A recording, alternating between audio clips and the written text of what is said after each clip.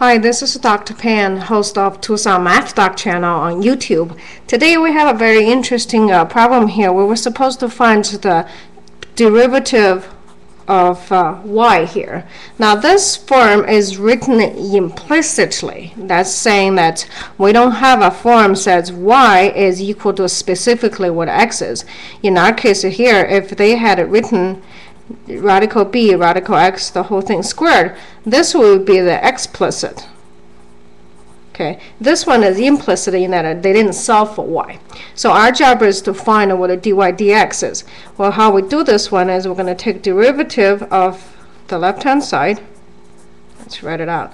And derivative of uh, right-hand side.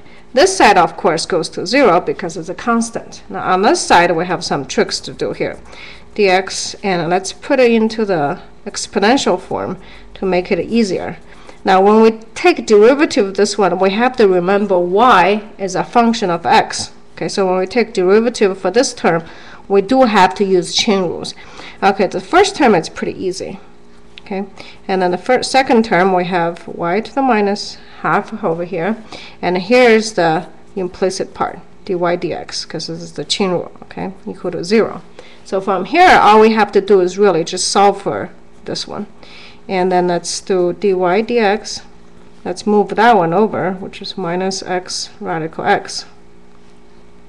Okay, it's positive, it moved over, it's negative. Now we're going to divide this chunk, uh, which is y to the minus half here. Okay, this one cancels very nicely, and we have a negative radical x since this one is on the denominator, when I bring it up, it's a positive.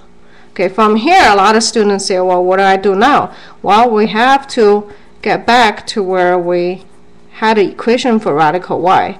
Okay, radical y is equal to radical b minus radical x. So all we have to do is substitute back in here. So I have negative radical x times radical b minus radical x. Okay one more step, then we're done. Radical x times radical b plus x. Okay, so here's my derivative dy dx. All right, hope this helped. Have a confident day.